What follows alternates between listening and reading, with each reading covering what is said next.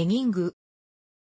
エギングとは、イカを釣る長法の一種で、ルアーフィッシングの釣り具を基本とし、そのルアーをエギに変えた長法を指す。語源は、西洋の長法を基本とすることからエギを、エギと読み英語の進行形イイングを付したもの、和製英語のカタカナ読みである。同様に、エギを、エギとカタカナ表記することも多い。ルアーフィッシングの一分野とされ、用いられる用語もエギ以外は、ルアーフィッシングに準ずる。エギングに興じるアングラーを総じて、エギンガーという。対象魚としては、アオリイカが人気であるが、コウイカやスルメイカ、ヤリイカなどのイカ類全般、またタコなどもエギングで釣ることができる。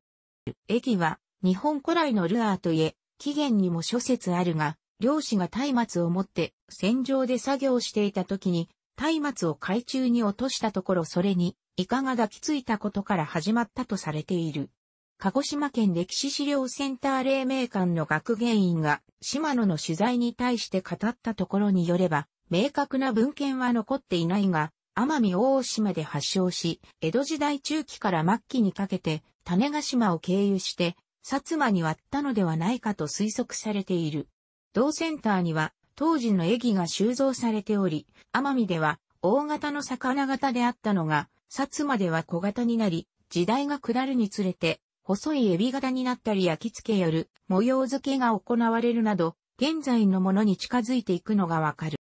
現在では多くのエギが開発されているが、基本的に外観はエビに似せた形や模様を施しており、木材やプラスチックで形成されている。これに、金、銀、マーブルなどのカラーテープを貼り、さらにその上から各色の布を貼り付けているものが多い。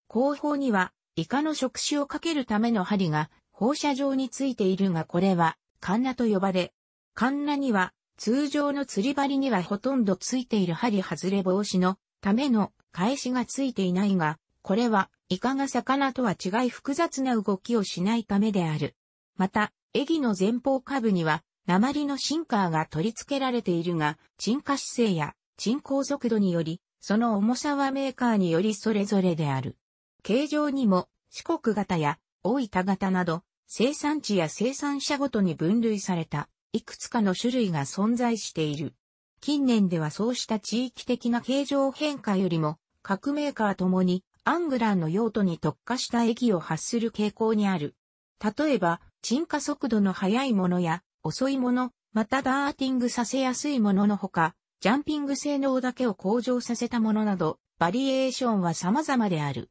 操作時にラトル音を発生させて、イカを誘うタイプのエギも存在する。また、極端に重いエギを使用する情報を、特にティップランエギングという。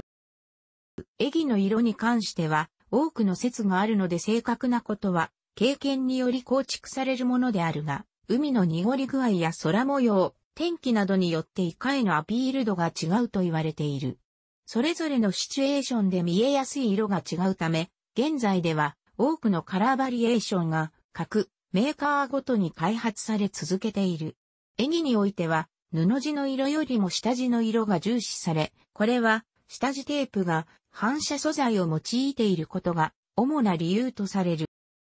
エギの大きさも各種発売されており、対象となるイカの大きさに合わせたり、フィールドや状況に適したものを選んだりすることができる。また、比較的安値で販売されているエギは、通常600円から1200円前後だが対して100円や200円、デフレエギなどと呼ばれたりしている。値段によって釣れないということはないが、基本的には、エギの価格の違いほどに、超過の方は、大差なく、安いエギで大量の時もあれば、有名メーカーの高価なエギで全く釣れないといったケースもる。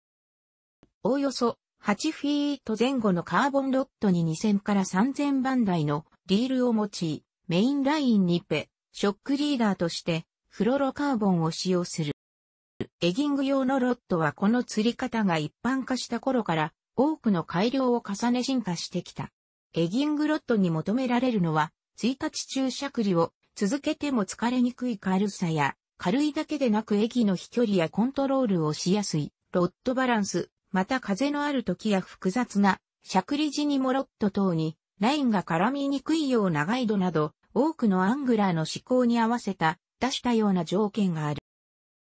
日中でもイカが、エギの動きに反応することが知られたのはここ数年のことで、ルアーを使用しての釣りで、比較的ライトタックルで攻めやすいことと、前日の通り火中でも調校できる手軽さ、またイカ特有の引きの良さから、近年人気を得るようになった。特にバサー、バスフィッシングアングラーからの転校も多いことが知られる。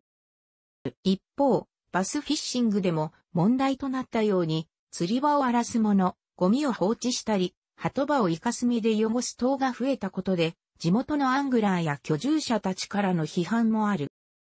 また、実際の釣り場ではエギングのみならずあらゆるジャンルのアングラーが釣りをしているので、比較的ライトタックルで攻めることができるエギングは、移動性などの観点から有利であるが、近年はマナーを無視したエギンガーが増えている現状がある。エギは、エギングの重宝としてそこまで沈めることが多いので、エギが海底の藻や障害物に引っかかり、そのまま海中に残ってしまうことがある。他のルアーでも同じような問題はあるが、特にエギングではそこを意識した釣り方になる分、ロスとされる駅が多いのは、環境汚染の観点からあまり好ましいとは言えない。楽しくご覧になりましたら、購読と良いです。クリックしてください。